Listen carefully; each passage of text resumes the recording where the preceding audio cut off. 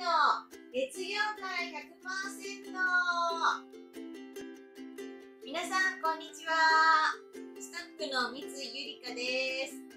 第4回の三井の月曜から100%今週も元気いっぱい始めていきます。よろしくお願いします。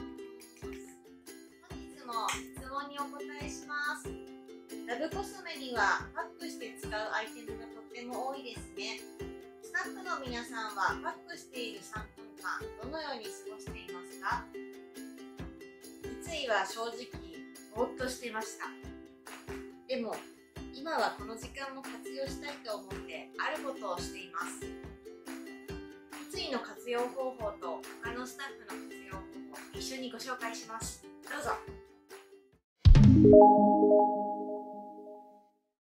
まずは私三井の回答足める前に洗面器にお湯を張っておいてパック中足湯でのんびり簡単にリラックスできてこれから涼しくなる時期にもぴったりです。続いて桜井さんの回答。メイク道具を洗う。とっても綺麗好きな桜井さん。パックして椅子で待っている時に身の回りのメイク道具を一つずつ洗っているそうです。確かにちょうどいい時間かもしれないですね。続いて椿さんの回答。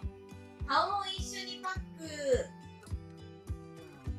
白ツヤ美人が大好きな椿さん。ゼムーで3分パックしている時になんと白ツヤ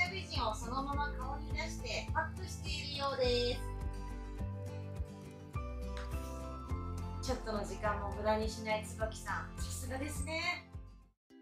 いかがでしょうか？自分磨きはとっても大変です。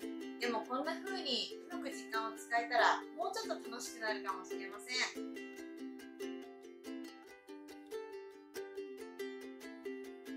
三井に調べてほしいこと募集中。